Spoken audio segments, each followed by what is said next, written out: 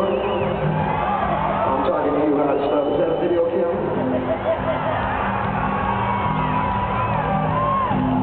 That is video. You want to make a sex tape?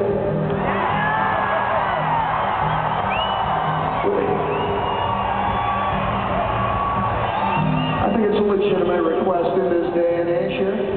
Would that be your first sex tape? Is that like, okay? I'm sorry? 1982.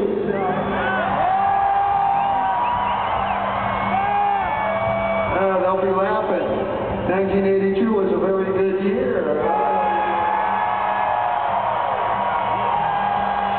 Except for the two hours I was on stage that tour, I spent the whole goddamn summer naked, happy, and I was a sexy motherfucker, baby.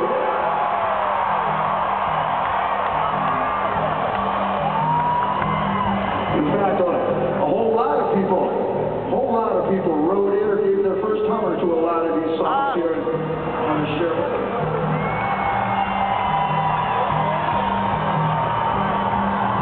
You know what I like? I think you know. A little instructional here. Take it away,